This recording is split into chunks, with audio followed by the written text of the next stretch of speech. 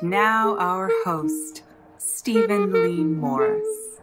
This week we are joined by Stephen Sachs. Stephen is an internationally produced playwright, and he is the co-founder and co-artistic director of the much heralded Fountain Theatre, which he co-founded in 1990.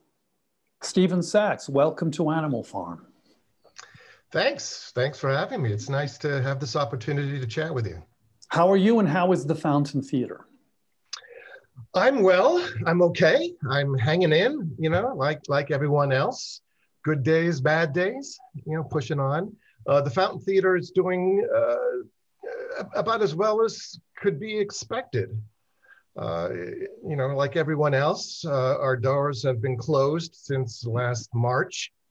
Uh, what now? First, I guess the best news I read, uh, really about anybody, but particularly about the Fountain Theatre, is that you were licensed by the or get, got permission from the city to have outdoor performances. And what does that mean? And uh, when does that start realistically? And what, yeah, what does that actually mean? Well, the outdoor stage is going to be a, a, a huge game changer for us uh, at the Fountain Theatre. And I hope also for the city of Los Angeles. Uh, it, it, came about uh, last year when we were closed down because of COVID. Yes. Uh, we were months into the pandemic, and I'm sitting downstairs at the Fountain Theater in, in the in, in the theater itself and looking at my, my intimate little space, yeah. uh, which only has 78 seats, 80 seats. And, you know, our intimacy has always been uh, a blessing. Uh, but it also turned out to be a bit of a curse because even with the, the COVID uh, regulations, guidelines in place with social distancing and everything, if we were to bring in an audience and, and sat them six feet apart, in my little theater, that would mean that my 80 seat theater would go down to 12. you know, yes. which does not make for a robust financial model. I yeah, I could be uh, cynical and say 12. that's about the average attendance of most uh, intimate theaters I see. In but um, but, yeah, but, that's, you know. that's not true. That's actually not true. Um, not on true. a bad day, it's true. Yeah, sometimes it's true. Yeah, yeah, yeah. But that's so, not what you want to plan around. No, it's not what you want to go to your board of directors with, as this is, you know, uh, an idea of a good plan. So I'm sitting there, and I, and and then it just struck me: uh, why don't we go outdoors? Uh, we have our we own our building. Uh, the Fountain Theatre owns its own building, which is its own uh, enormous blessing unto itself, and we also own the parking lot. So I thought, let's go outside.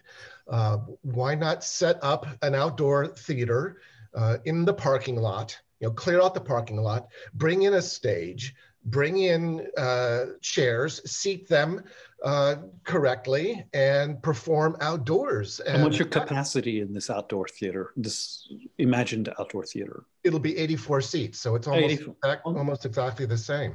Uh, right. Uh, plus, we'll have some cocktail tables for you know refreshments and dining, and and we have the gorgeous weather. And what could be better than being outdoors, you know, in Los Angeles on a warm summer night, in enjoying theater? So uh, that's how that was the idea. Uh, so the, you know there always is like the big idea, and then it's the uh, the making it happen. Uh, so uh, thus began my journey into uh, city planning land and getting permission from the city of Los Angeles. And how did that go about? Who who did you actually appeal to?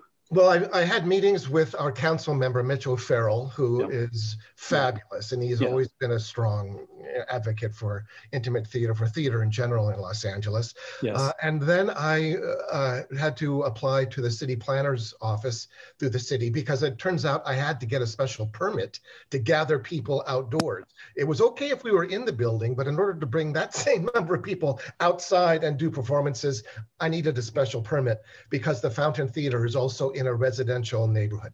So uh, that just meant you know, a, a, ton of meetings, uh, a massive application package that I had to fill out and do reports and do sound testing and, and you know neighborhood impact studies and all that stuff. So anyway, I went down yeah, that road yeah, and, and did it and ultimately got permission uh, from uh, the city to go ahead and, and do that. So, okay, I have two questions and then we'll go to bigger picture things. Um, one is, uh, uh, well, do you have any idea of when you may be actually performing on that outdoor stage?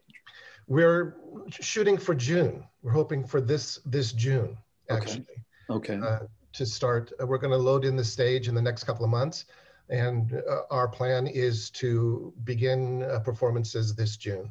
Again, now that we have the, the city uh, sanctioned, uh, we're now uh, just waiting for the COVID numbers now to come down. It's all now about getting permission from the Department of Public Health yes. to yes. allow us now to gather uh, as a as a group outside. At least outdoors. At least outdoors. Yes. Now here's here's the rudest question of all.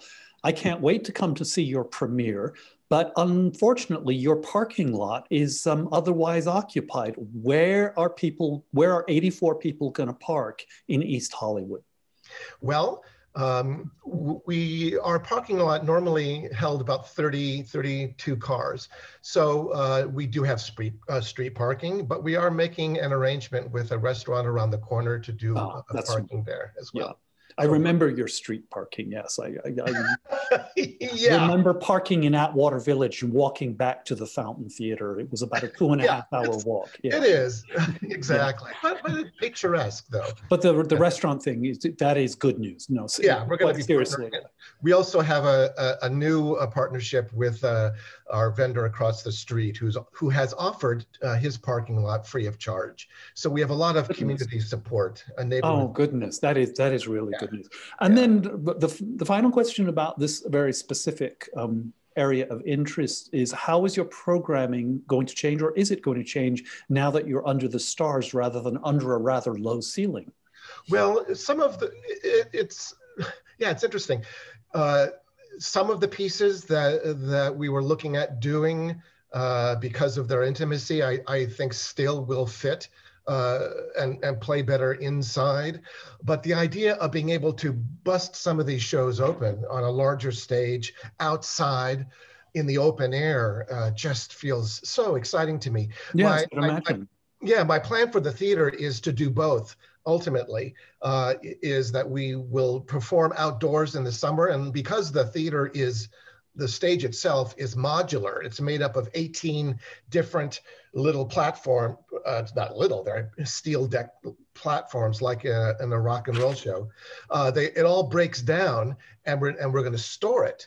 Uh, so then, uh, once the once COVID uh, hopefully is is contained, we then go back inside. We'll produce indoors, and then every summer, my my plan is to bring the stage out and do outdoor theater at the Fountain Theater every summer under the stars in, in Hollywood. That sounds lovely. I mean, we've got um, Theatricum Botanicum, we've got um, obviously yeah. Independent Shakespeare Festival, so there's clearly a precedent for that. Going right. back, I guess, to uh, Sophocles, which uh, if it were, it was good enough for him, I don't know why it's you know? not good enough for us. exactly. Um, in terms of you are participating in these weekly conference calls, Zoom calls with artistic directors around the country. Uh, we are. I'm recording this late February 2020. What is um, what is the mood, the tone? How are people doing? How's the community doing? We are uh, hanging together. Uh, it's been a, a, a, remarkable journey. These uh, weekly meetings. Uh, they started uh, when after the pandemic first broke out, and it was really, I think, initiated by Gary Grossman at the Skylight. Right. And, uh, for those who may not know, what it is is that every Tuesday, all the artistic directors of all of, of a lot of the many of the intimate theaters in Los Angeles, we meet on Zoom together, uh, and it started out as kind of a, a, therapy session really. We at first it was just kind of commiserating yes. uh, saying what are we going to do? How are we going to get through this? What are you doing? This is what i'm doing. What right, do you right. You know? That's important. That's yeah important. yeah. You know and as you know stephen and you know la is such a spread out landscape and uh, in los angeles it's very easy for all of us art makers and arts patrons to to be in our own little village and our little fiefdom, uh, and we don't really get out and, and interact yeah. with each other as much as we would like to. So this these Zoom meetings really provided an opportunity for us to to to see each other again face to face. And so at first they were all they were kind of bitch and moan sessions at first. And what are we going to do? How are we going to survive? Yeah. There was a lot of panic. Yeah. Uh, and fear. Yeah. Uh, and then uh, because a lot of it we didn't know. We don't. We we never knew how long is this going to go on. Is it just going to be two months, three months, and so on. Um, and so it's been up and down uh, the mood depend as the pandemic itself has has progressed. So um, I, I, think now. Have you seen? I mean, it was there were stats out. Some of them were published by American Theater Magazine, specifically about our area, and also there's been local. Uh, the LA County has also done um, its own questionnaires. But have you seen? members of the of that community just fold up the tent, at least even temporarily, saying we we can't we we just can't afford the overhead uh, and not not produce at the same time. Have you seen the numbers dwindle? Uh, was the panic justified, or was it um, paranoia? No, it was justified. I, I know of some theaters in our own community uh, who have been forced to stop. Uh, a, a, big problem for many of, of of us in our community are, are, that the, the theater companies don't own their own building like the fountain does and we're very fortunate but most do not and so they are renting their space those who even have a building right. uh, rent them uh, and rents were already going up and now when you when your doors are closed and you have no income coming in right. you're sitting there empty how long can you right well that that is the question yeah yeah question. yeah so some of them have been able to strike deals with their landlords some yeah. have not uh, I know one one theater in particular who had plans to acquire a new building, a new facility a, a year ago, and now that it looks like will not be happening. Uh, so it's it's been devastating for for many many uh, intimate theaters. Is has have there been is there been any way for um, the community to rally against the, the theaters that are specifically under siege by circumstances, by economics, and, and keep them afloat, or is is the um, community at large just doesn't have the resources for that? Yeah, I don't, I don't, I don't know how we could help financially. What we have been, how we have been able to help each other in a very tangible way, is by sharing information and resources, uh, grant applications, mm-hmm. uh, funding sources. Um, we've all also been battling this AB5 situation, and so. Oh. Uh, we've been uh, very active in uh, in advocating for that. So we advocate for each other as yeah. much as we can and helping each other with with COVID compliance and so all you know we're all financially strapped so we don't have we don't have a checkbook perhaps to, yes. to offer but we you know we offer our uh, other resources um, we had people in from LA County from the um, uh, from the grants and, and research department and they talked about they they were distributing COVID relief funds to arts organizations, and yes. um, I have conflicting information. Their information, they were quite humble about what they were actually accomplishing. They said the deficit, and they had the numbers for for the financial hit that the the community theater community had taken, and they said the amount the amounts they were disseminating was something like 5% of the of that those losses which i would seem would be nothing. And yet i just spoke with an artistic director who said that their theater was saved from that very grant. Um, i was wondering if you have perspective on that Yes, uh, it's sort of a mixed bag. I, I know the PPP loan, which was uh, right. the government loan, uh, which is actually not even a loan, it's forgivable. So it's a, essentially a grant. That was a, a, a, huge help for us and for many theaters.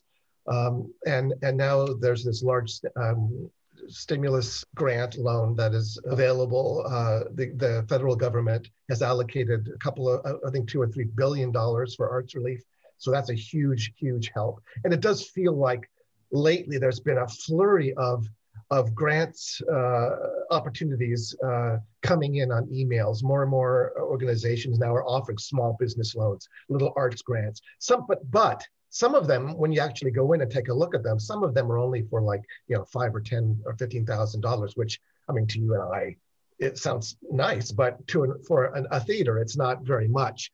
Uh, so it's yeah. kind of a mixed bag. Yeah, yeah, that's that's. I don't know what your budgets are for productions, but I can't see that even that could barely hand fulfill one very modest production. That that right. Kind of I mean, that would barely keep me in peanut butter and jelly, you know, for for a year, which is essential to me, you know. Yeah.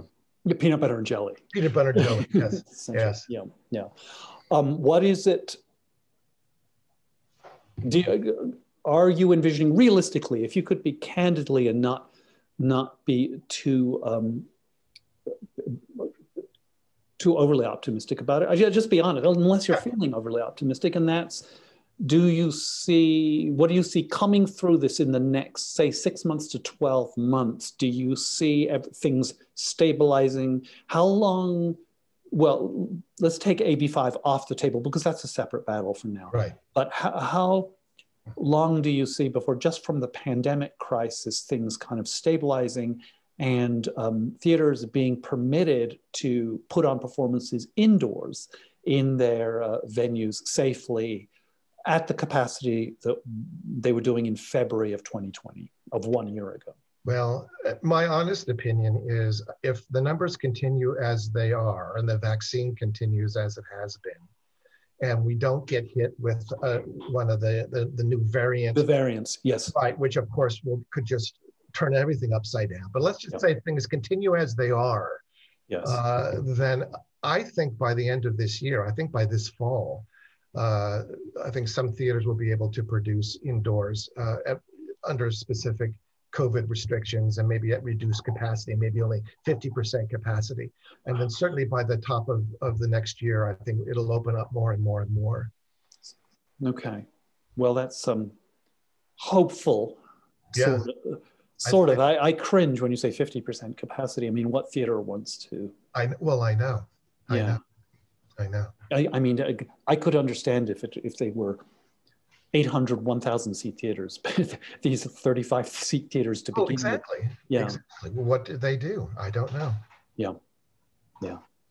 We um, keep looking forward and keep working together, I suppose. And um, we wish each other well as, as much as possible and um, try to imagine a future where um, doing what we love to do is viable, I think. And uh, another component to this too is not only theaters being ready and, and reopening uh, and doing our side of, of the equation, there also is the other side, which is the public, and that's getting the audience to come back. Um, well, that was the county research said the people were extremely skeptical about yeah. coming into spaces, mainly because they, the people they didn't trust were their fellow audience members. Mm. They didn't trust they would be vaccinated. They didn't trust they would take precautions. That's what the research showed. Right. That was research done two, you know, several months ago. Uh, that may have changed, but um, yeah, it, it, it, it, it's cause for concern. I have a feeling we're in for still a long haul here, and uh, things will normally, but it may will normalize, but it may take take longer than we expect. It's going to take longer than we had hoped. That's for sure. Um, yeah. There was a, a, a wave of a, a, new wave of despair in, in, in the Tuesday night group uh, a few weeks ago when it became clear uh, that 2021 uh, wasn't going to uh, turn the corner as quickly as we had hoped because I think we all were looking for the, the beginning of the new year. It's a new administration. Ah, it's going to all be better. But then it, it, it, and then when it was discovered how much you know, how, how the event horizon just keeps getting pushed further and further down. Yeah. I, I think a lot of us just thought, oh Lord, how are we going to, how are we going to yeah. get through this? You know, that virus is just not on our wavelength. Yeah. It's just it's, not, you know, it's just not, it's yeah. just not. Yeah. Well, Stephen, good luck. I look very forward to seeing your, your premiere production in your uh, outdoor space, which sounds terribly exciting, whatever it may be. Do you, do you have an idea for the first play? To, I do. Tell, do say. I, I'm, I'm holding that information. Oh. I'm, not, I'm not sharing that yet, oh. Oh. but I will. Just uh, so clandestine. I know, I know. Stephen Sachs, thank you for joining us. A pleasure. And next week, we are joined by theater critic for the LA Times, Margaret Gray, who will give us her observations on where things have been where things are right now and where things might be in the future.